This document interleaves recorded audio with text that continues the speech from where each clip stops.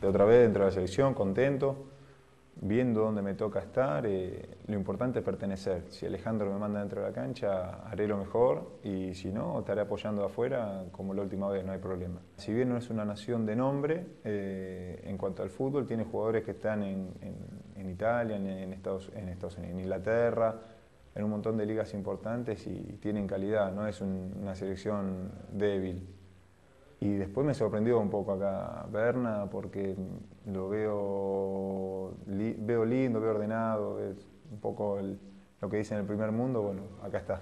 Me parece que hace tres años atrás, más o menos, empezamos con Chiquito un- una etapa que estuvimos nosotros dos, estuvo eh, Juan Pablo Carrizo, estuvo Orión, eh, eh, Vilar, eh, estuvimos al, pero siempre con Chiquito estuvimos presentes y eso, y eso es importante. Pudimos, este, no digo de, pertenecer ya a la selección, pero ser partícipes casi siempre. Así que me parece que cada uno en su lugar ha hecho las cosas lo mejor posible dentro de sus, dentro de sus cualidades y seguimos estando.